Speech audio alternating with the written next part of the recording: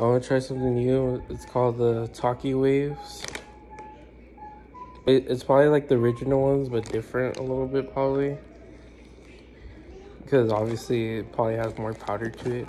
I'm not sure yet. They're new. Uh, thank you guys for 413 subs, almost a 420. Waiting for that new zombies map coming out. If you guys saw that, uh, let me know. Mule Kick looks really cool, especially the special effects it does with it. There's a lot of cool stuff with the whole new map coming out. But yeah.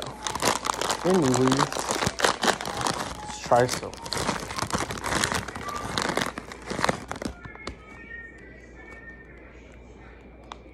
Kind of look like ruffles.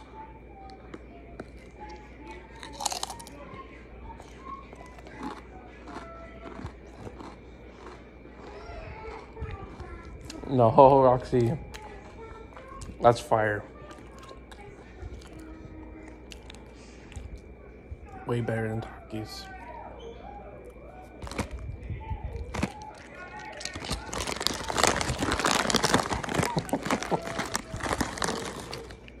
yeah, I mean, I mean, not.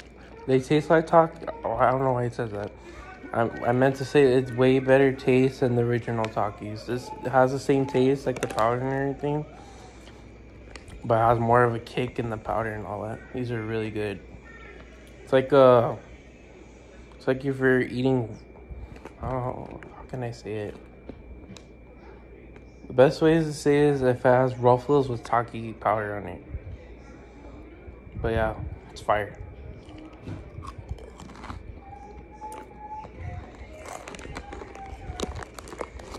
Way better.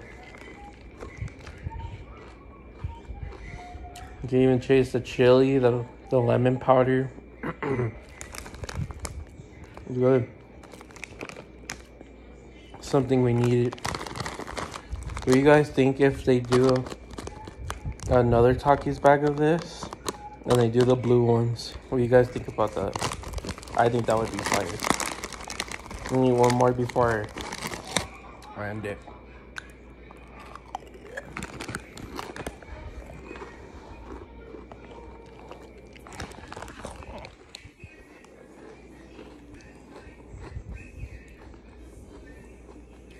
Powder hits all in your mouth.